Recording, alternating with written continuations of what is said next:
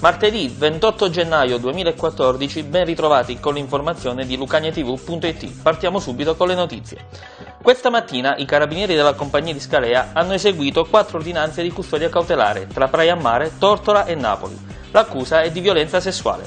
L'operazione dei carabinieri, denominata Orchis, è stata conclusa dopo indagini approfondite tra il 2012 e il 2013. Nelle prossime ore avremo ulteriori particolari si è avvertita in modo abbastanza netto una scossa di terremoto di magnitudo 2.7 nella serata di lunedì 27 gennaio sul territorio di Lauria alle ore 22.40 circa. La scossa non ha causato nessun danno, ma il susseguirsi di movimenti tellurici anche di lieve entità preoccupa sempre di più i cittadini. La frana di Senise continua a dare preoccupazione in tutta la zona. Si susseguono i sopralluoghi dei tecnici regionali al fine di mettere in sicurezza l'area soggetta a smottamento, che pare si tratti di un disastro annunciato, ampiamente denunciato addirittura dal lontano 2009. La situazione resta di grande allerta e spinosa in quanto interessa sia una zona privata che una zona pubblica che porta all'ingresso del paese. Per motivi di cautela la strada resterà chiusa per l'accesso alle aree strettamente in vicinanza allo smottamento.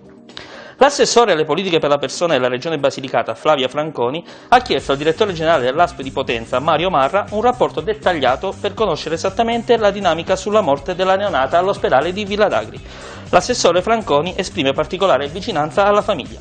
Intanto ci giunge nota che la direzione sanitaria dell'azienda sanitaria di Potenza ha avviato un'indagine interna, finalizzata ad accertare i fatti ed eventuali responsabilità. Il presidente della regione Basilicata, Marcello Pittella, ha respinto le dimissioni del commissario regionale per le iniziative anti-racket e usura Egidio Basile.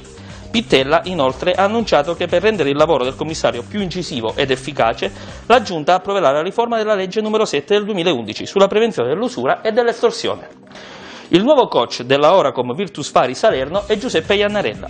La società nei giorni scorsi ha comunicato alla stampa di aver raggiunto l'accordo con Iannarella che guiderà per quest'anno 2013-2014 la Oracom Virtus Fari Salerno che milita attualmente nel campionato nazionale di Serie B2 femminile. Bene, con questa notizia di sport termina il nostro appuntamento flash del martedì, appuntamento a giovedì sempre qui su lucaniatv.it.